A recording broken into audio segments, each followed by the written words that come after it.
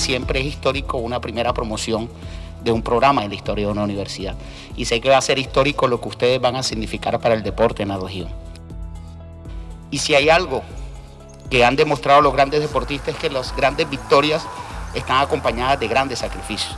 Y la diferencia entre el que triunfa y el que se queda es que el que triunfa no es que no se haya caído, sino que se cae una y otra vez y se levanta. ¿Jura usted solemnemente dejar siempre en lo más alto el nombre de la Universidad de Magdalena? Sí.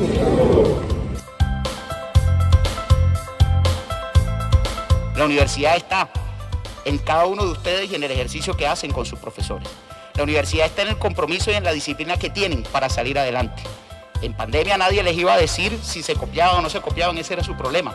La vida no los va a dejar copiarse, porque la vida cada vez que uno aprende una respuesta le cambia las preguntas.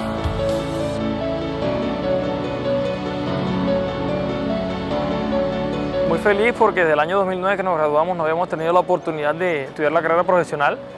Recuerden que para poder acceder al magisterio hay que ser o licenciado o profesional en deporte eh, y no éramos ninguno de los dos, no podíamos acceder a, esta ventaja de ser docentes del Estado. A partir de hoy ya podremos pues, competir para este tipo de plazas en el magisterio.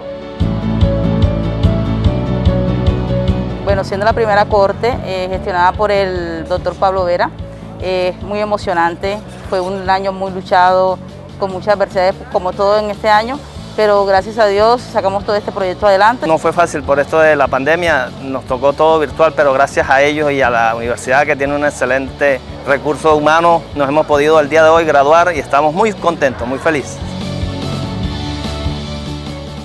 El programa puso a disposición excelentes profesores y vamos por la maestría y la especialización para el área de deporte. Universidad del Magdalena, aún más incluyente e innovadora.